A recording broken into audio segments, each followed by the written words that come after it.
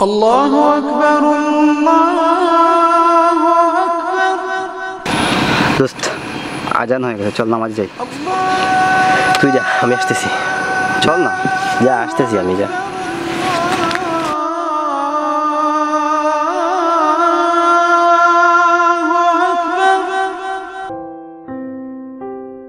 হ্যাঁ দোস্ত আয় দোস্ত।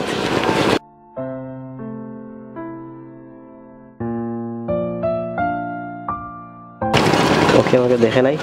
আমাকে দেখো ইগনোর করল কেন? তোর সাথে হাত মিলে আমার সাথে?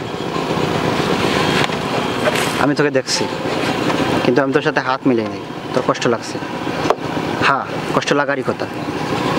কিন্তু যখন আল্লাহ তালা আমাদের ডাকেন, তুই বুঝ, আল্লাহর ডাক যদি ইগনোর করি, তাহলে আল্লাহর কতটুকু খারাপ লাগবে? তোর কাছে আমার রিকোয়েস্ট নামাজটা কন্টিনিউ করিস। প্লিজ আশা করি তুই আমার কথাটা রাখ